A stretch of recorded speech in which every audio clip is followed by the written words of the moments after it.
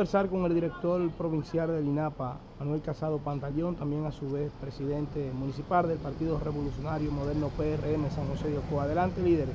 Buen día, Plácido. Buen día, Plácido. Eh, queremos hacer de conocimiento a nuestra población, a los usuarios de servicios de agua, que en estos días vamos a tener, y estamos teniendo ya, una serie de inconvenientes en el sentido que se, está trabajando en la línea matriz eh, que conduce el agua hasta la vigía, que por tanto luego la distribuye a la población y en vista que están trabajando para introducir la red del nuevo acueducto, eh, esto nos va a traer una serie de inconvenientes en el porvenir inmediato.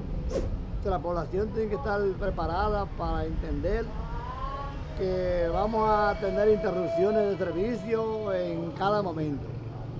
Eh, ayer tarde no pudimos dar servicio, hoy tampoco hemos podido dar servicio porque está haciendo unos trabajos ahí al lado de la bomba de los sucos.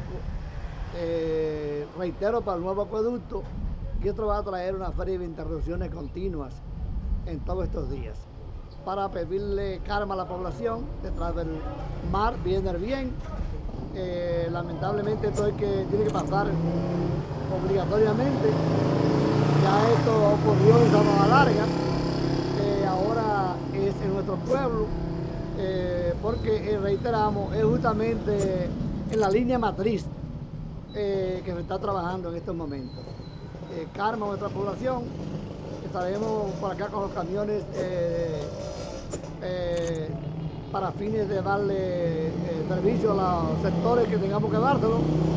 Y, racional, racional hasta donde sea posible eh, el agua cuando le llegue a sus hogares, porque reiteramos, tendremos interrupciones continuas por todos estos días eh, con el fin de acelerar los trabajos del nuevo acueducto que ya están, yo diría que en casi un 90%, un 80 y tanto por ciento, eh, para fines de que podamos dar agua prontamente, 24 horas todos nuestros. Más o menos, estos trabajos que mencionaba usted, la bomba de los sucos, por ahí, más o menos cuánto se estima que puedan durar.